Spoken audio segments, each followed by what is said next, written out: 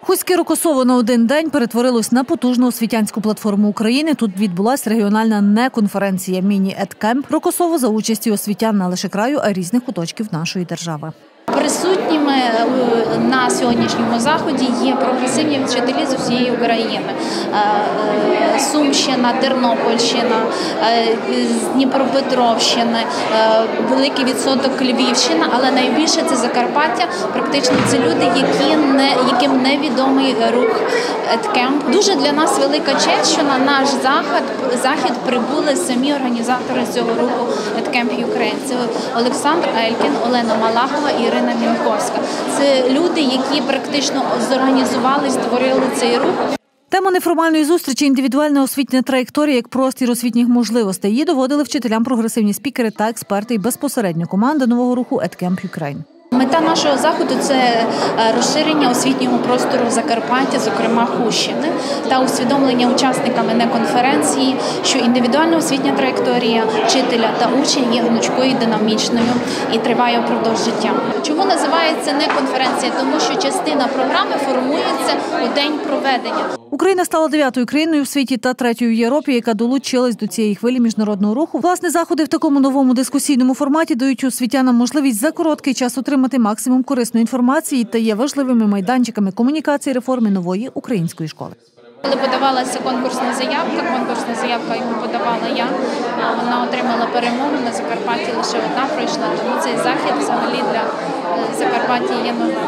Програма заходу цікава і насичена. Передусім відбулося урочисте відкриття Рокосівської неконференції, де, зокрема, зібрались ті, хто будує спільноту відповідального вчительства.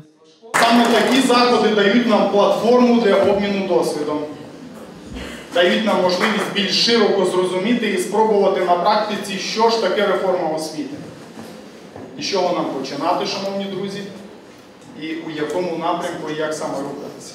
Переконаний, що перед нами стоїть ще одна велика революція революція в освітній сфері. Е, Надіюся, що ця революція принесе нам нову систему освіти, нову систему мислення. Панельна дискусія під назвою Учнівська і учительська індивідуальна освітня траєкторія точки дотику і стали стартом у так званому діалозі присутніх. Чи є ваша компанія співпрацює з педагогічними вузами українськими? Чи є такий стиль роботи і формат роботи із вищими навчальними закладами? Далі визначили цінності спільноти та познайомились з експертами. Ну, я буду говорити про те, як індивідуальну освітню траєкторію візуалізувати для себе і перетворити в е, власне життєву траєкторію, в, втілити в індивідуальному освітньому профайлі. Відтак тут провели експертну та вчительську паралелі на різних локаціях освітнього майданчика. Ближче до вечора відбулася особлива сесія, підбиття підсумків та кілька акцій.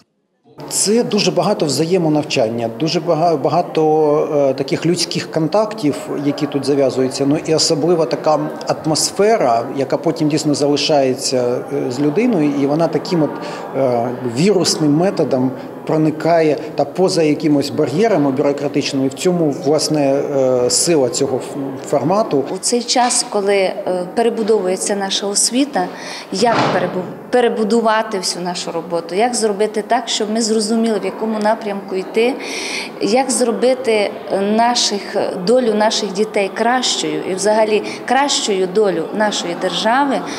На всі ці питання, ну можна сказати, і дають відповідь саме такі заходи. Всі учасники на конференції поїдуть додому на свої місця і, надихнувшись оцією атмосферою, зможуть реалізувати якісь ідеї вже на місцях в рамках цієї освітньої реформи, яка відбувається на даний час.